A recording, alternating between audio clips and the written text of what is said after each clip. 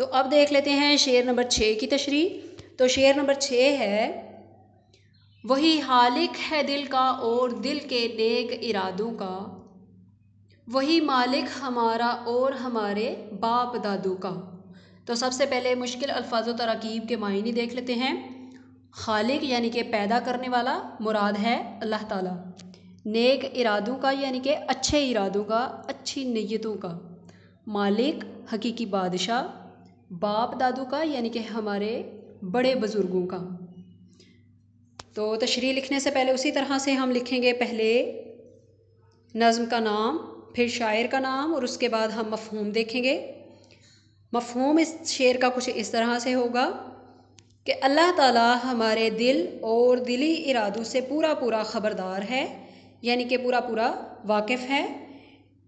उसी ने हमें और हमारे बाप दादू को तख्लीक किया यानी कि पैदा किया और ज़िंदगी की नेमत से नवाजा है। अब हम इस शेर की तशरी समझने की कोशिश करेंगे। तो तशरी में शायर हफीज़ जलंधरी साहब, खालिक कायनात की हमदोसना बयान करते हुए पहले मिसरे में अर्ज़ करते हैं कि वही अल्लाह है जिसने इंसान के दिल को सबसे पहले तहलीक फरमाया, जैसा कि कुरान मजीद में भी इर्शाद फरमाया गया है।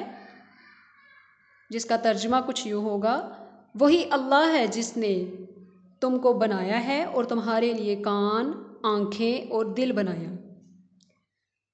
यानी कि अल्लाह ताला दिलों का हाल जानने वाला है, वो दिली इरादों को भी जानता है और पहचानता भी है।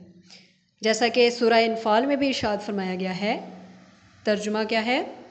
बेशक अल्लाह इंसान और उसके दिली इरादों के दरमियान हायल हो जाता है।